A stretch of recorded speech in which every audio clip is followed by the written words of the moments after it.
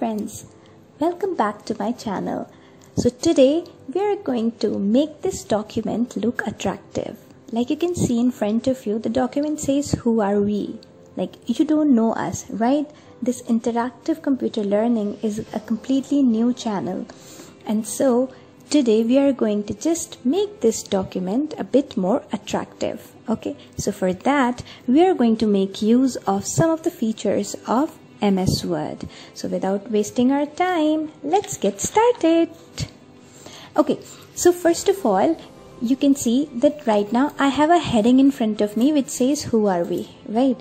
And now as you all know that heading is one of the most important text in a document. So whenever we have any important text what we do is we usually highlight that thing isn't it? So that the user knows that what the document is all about. So for highlighting your text what you can do is you can simply select your text and then from the home tab in the font group you have this text highlight button okay? So you can simply click on this drop down arrow if you want to select any particular color of your choice okay? And then if you do not want to select a color and you want to pick any random color then you can simply click on this button. But I would like to pick a nice color. So let us say that I have picked yellow color for highlighting. So there it applied highlight to my text.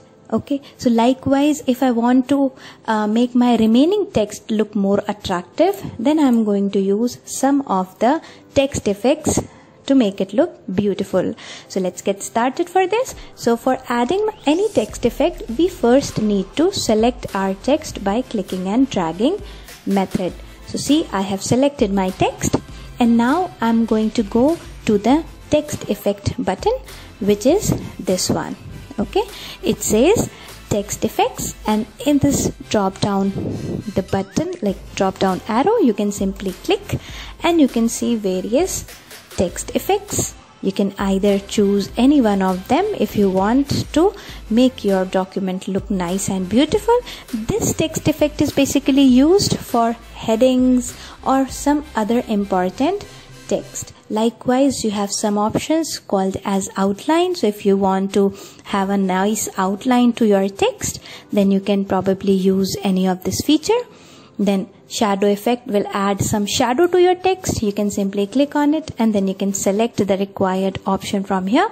You can bring the scroll down below and you can add some perspective to your text as well alright. And then you have reflection button as well. So that means if you want to add some reflection then you can obviously come here. You will see another window opening and then you can select the reflection variables from this particular window.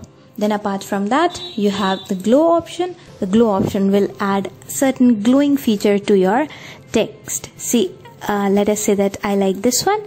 So the moment I'll deselect the text I can see that my text has changed the color and it is also glowing a bit.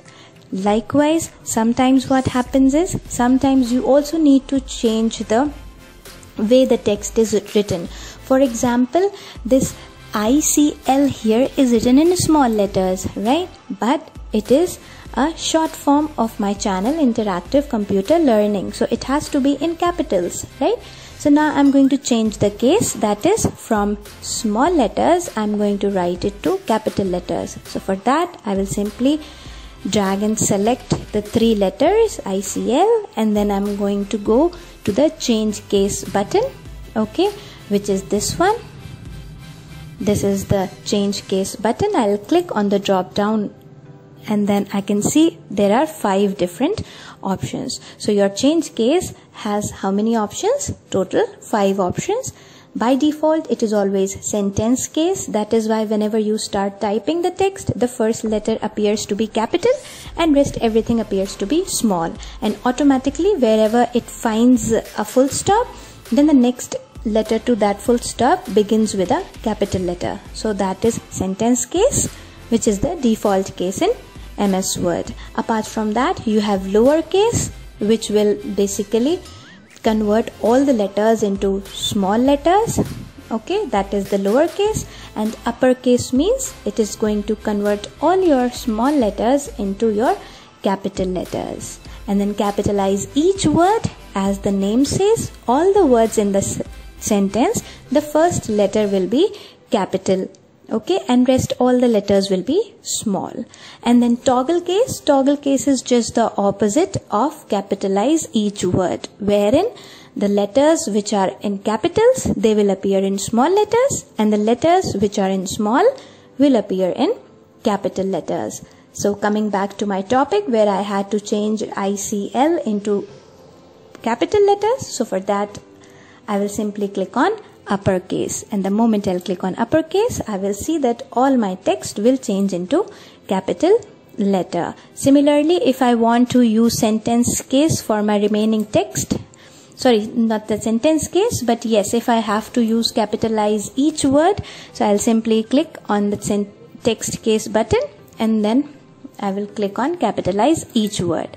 Now as you can see that all the let first letter of each word is appearing in capital right? And now I will show you the use of toggle case wherein all the capital letters will convert into small and all small will convert into capital. So just look very very closely.